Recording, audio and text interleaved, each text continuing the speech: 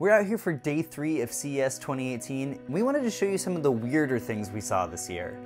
Now we're only a month away from Mobile World Congress, so there weren't that many phone announcements here, but there's still a whole bunch of fun products you're probably gonna like.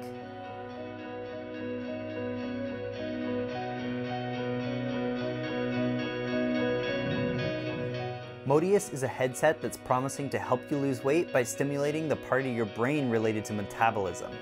They're based in San Diego, and they're currently in the shipping stage of their Indiegogo campaign. They look pretty ridiculous, but we'll wait for reviews before we totally disregard the technology.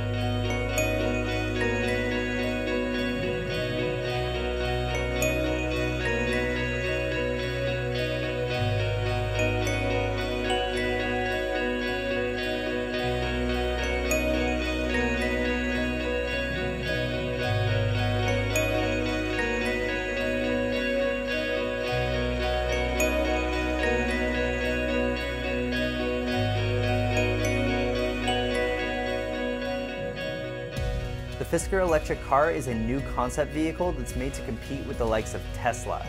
We've seen a few other companies like Faraday Future announce competitors as well, but we still haven't seen one in the wild. Fisker looks much more like a traditional sports car, and it should be launching in 2019 or 2020.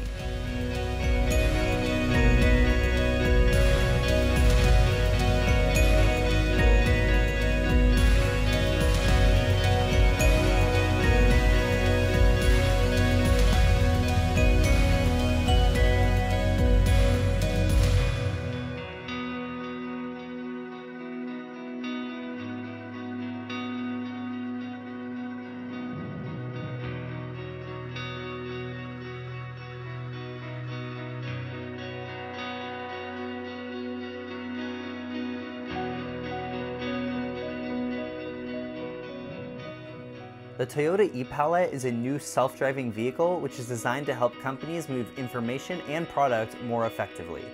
So far they've already partnered with companies like Amazon, Pizza Hut, and Uber, but we may see more partnerships announced in the coming weeks.